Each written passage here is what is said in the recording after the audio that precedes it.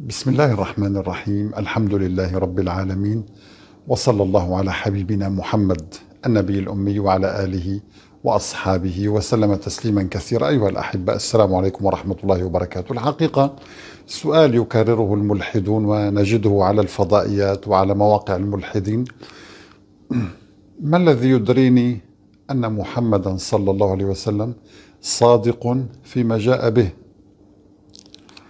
لماذا لا يكون مثل كثير ممن كذبوا على الناس وادعوا وادعوا النبوة وادعوا أنهم آلهة حتى؟ وجرى وراءهم الملايين أو سار وراءهم الملايين.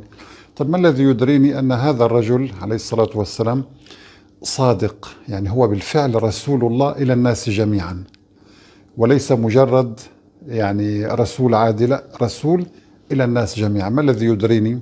انظروا أحبتي في الله. طبعا نحن في هذا اللقاء لن نقدم الحقائق العلمية على على الرغم من كثرتها. لن نقدم الحقائق المنطقية ولا ولا نلجأ إلى سواء إلى القرآن أو إلى العلم أو كذا لا. سأتبع أسلوب جديد الحقيقة. أنا أنا شخصيا أتبعه ليطمئن قلبي. دائما المؤمن بحاجة لإطمئنان القلب أول شيء أيها الأحبة هل لديكم دينا أفضل من هذا؟ يعني هل هناك شخص جاء بتعاليم أفضل من هذه التعاليم تحقق سعادتي ومصلحتي والحياة المستقرة في الدنيا وبعد الموت؟ إذا كان موجود أهلا وسهلا دلوني على هذا الكتاب ما هو الكتاب الذي يجعلني سعيدا لحظة الموت. كتاب واحد. طبعا لا تقل لي كتب الملحدين التي تقول لك إنك جئت من قرد وتطورت وستموت وستتحول إلى تراب. طيب أنا لي حق عند إنسان مثلا. كيف سأكون سعيدا لحظة الموت؟ وأنا ظلمت وأوذيت وهضم حقي؟ طيب كيف أكون سعيدا إذا لم يكون هناك أمل أن يرد لي هذا الحق؟ اذا نظرية الإلحاد تفشل في تأمين السعادة أو تحقيق السعادة لحظة الموت. طيب أنا الآن محتار. هناك طريق تستطيع أن تتبع الشهوات الزنا الفاحشة المثلية الجنسية الربا إلى آخره يعني الخمر المخدرات القمار أو الميسر. طيب هل هناك دين يعني يضمن لي السعادة ويضمن لي النجاة من هذه الآفات؟ نحن نعلم أن الخمر يسبب سبعة أنواع من السرطان. هذا حسب المجلة الطبية البريطانية. والخمر يشوه الشريط الوراثي دي إن اي يشوه الخريطة الجينية للإنسان على فكرة. من هنا ينشأ السرطان وتنشأ المشاكل. إذا أنا الإسلام مريح بالنسبة لي. عندما يقول لي هذا الحبيب عليه الصلاة والسلام ويحذرني لعن الله في العش في الخمر عشرة شاربها. طبعا أنا أقول الرواية بالمعنى يعني شاربها. وعاصرها وحاملها والمحمولة إليه وبائع ثمنها ومعتصر وكذا. كلها من يشارك في هذا الخمر لعنه الله. إذا هذا التحذير يجعلني أبتعد عن الخمر أنفر من هذا هذه المادة الخبيثة. طيب هذا أمر جيد. أنا حقق لي السعادة بصراحة. طيب أنا عندما تركت التدخين وتركته ليس لسبب طبي أو لسبب لا أنا تركته لأنني أعتقد أن الله لا يرضى عني وأنا أدخل إلى جوفي مادة خبيثة فيها أربعة آلاف مادة سامة. السيجارة هذه التي تأخذها فيها أربعة آلاف مادة سامة. والله تعالى يقول لي في القرآن ولا تلقوا بأيديكم إلى التهلكة. والنبي الأعظم عليه الصلاة والسلام يقول لي لا ضرر ولا ضرار. طيب إذا أنا هذا كان محفز لي أن أترك الدخان. طب في ظل الإلحاد ليس هناك أي تعاليم واضحة. هم يقومون بدعايات لإغرائك بالدخان ثم يقول لك يعني هو يسبب السرطان ولكن يجب أن يعني يعني لا مانع من أن تتناول أو تشرب الدخان لأنه شيء جيد يأتون بممثلات بفنانين يدخن وكذا ليثير في داخلك وهي مدروسة نفسيا ليكسب من ورائك المليارات تكسب هذه الشركات على حساب صحتك. إذا نظرية الإلحاد هنا تفشل في تأمين الصحة الجيدة لي. طيب نظريات الإلحاد وغيرها من النظريات الموجودة حاليا تبيح لك الاختلاط بالنساء وأحيانا تبيح لك ممارسة الجنس بالتراضي ما دام برضاء الطرفين. كثير من القوانين التي وضعها البشر تبيح للإنسان ذلك. طيب أنا عندما أرى أن كل إنسان يزني لابد أن يصاب بأمراض منقولة جنسيا وكمية الأمراض تتناسب مع كثرة الزنا. يعني قد يزني مرة مرتين عشرة ولكن عندما يستمر فتأتيه هذه الأمراض المنقولة جنسيا بكتيريا وفيروسات وغيرها والتي أصابت ثلث الشعب الأمريكي في إحصائية عرضناها مؤخرا معروفة جدا عالميا يعني. ثلث الشعب الأمريكي مصاب ثلث. وربع الفتيات تعرضنا للاغتصاب هناك إلى آخره يعني إحصائيات معروفة. ارجعوا إلى وزارة العدل الأمريكية وإلى موقع CDC الخاص بمراكز السيطرة على الأمراض ومنع انتشارها وكذا. مختص بهذه المسائل يعني يقدم إحصائيات دقيقة. طيب أنا الإسلام عندما قال لي ولا تقربوا الزنا إن إنه كان فاحشة وساء سبيلا. والنبي حذرني من ذلك. النبي حذرني. والقرآن قال ولا يزنون ومن يفعل ذلك يلقى أثاما. يضاعف له العذاب خوفني. لماذا؟ لأن الإنس النفس البشرية التخويف يجعلها تستقيم. ما الذي يجعل الناس في الغرب خصوصا يعني يلتزمون بإشارات المرور؟ لأن العقوبة قاسية هناك. جربوا في أي مدينة أي مدينة لنقم بتجربة يلغى فيها قانون السير. ستجد كل يوم ألف حادث. لماذا؟ لأن النفس البشرية جامحة. فعندما تخوف هذه النفس وبنفس الوقت ترغبها بأنك إذا تركت هذا العمل ستحقق فوائد واحد اثنان ثلاثة.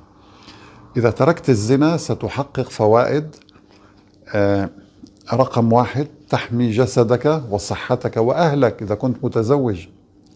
تحمي زوجتك وأولادك من الإيدز ومن مشاكل كثيرة. طيب آه، الفائدة رقم اثنين أنت تحمي آه، يعني نحن نعلم فضائح مثلا رئيس أمريكي مع العلم أنهم يبيحون كل شيء على الرغم من ذلك تجد منصب الرئيس أو الوزير أو منصب كبير إذا يعني مارس هذا الشيء فضيحة. إذا هم في داخلهم يعتقدون أن هذا الشيء خاطئ. الزنا والشذوذ الجنسي يعتبرونه خاطئا في قرارة أنفسهم ولكن لا يعترفون.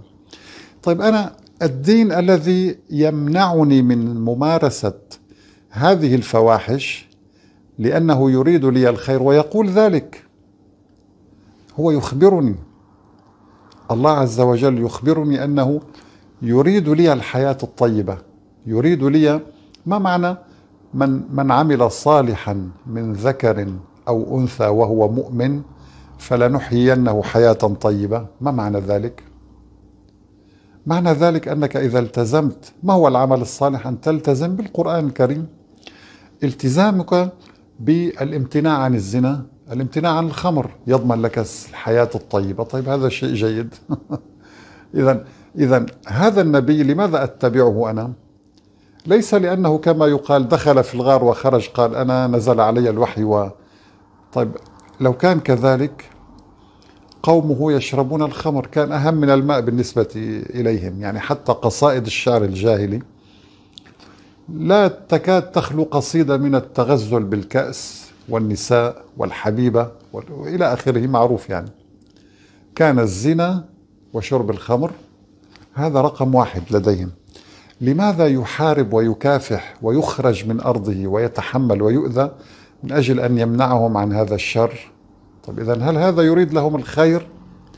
يعني يعني مثلا طبيب يأتي ليفعل كل شيء ويتحمل الأذى ويصبر ليمنعك من التدخين وشرب الخمر ويمنع عنك هذه الأمراض وما ينتج عن هذه العادات السيئة من أمراض. طب أنا أقول هذا هذا الطبيب يريد لي الشر؟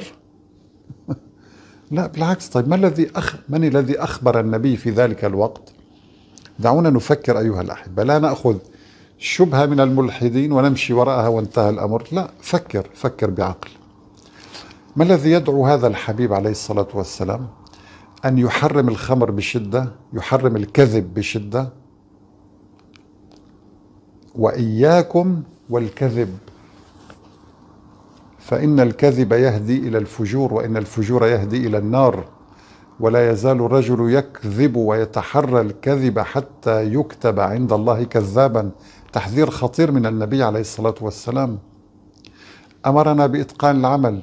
لا تقل لوضع المسلمين اليوم لا النبي ليس مسؤولا عن التخلف الذي نعيشه اليوم. العالم الإسلامي اليوم بسبب ظروف سياسية يقبع في في ظلمات معينة النبي عليه الصلاة والسلام ليس مسؤولا عنها ولا القرآن الكريم. المسؤول عنها هم المسلمون أنفسهم هم الذين قصروا.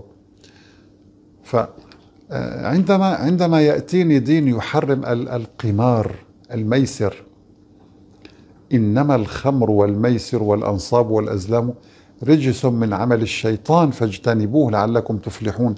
يعني إذا أردت الفلاح والنجاح والحياة المطمئنة ما معنى تفلحون؟ الفلاح لا يعني مجرد أن تنجح في قضية معينة لا أن تكون حياتك كلها سعادة ونجاح. فالفلاح أقوى بكثير من النجاح.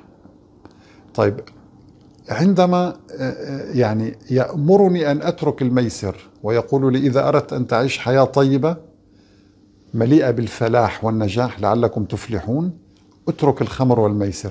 طيب أنا عندما أقرأ دراسات وبخاصة في جامعة ميريلاند وجامعات ألمانيا وعرضناها كلها معروضة على الموقع الإلكتروني يعني, يعني لا داعي أن أقول لكم بتاريخ كذا كثيرة جدا يعني.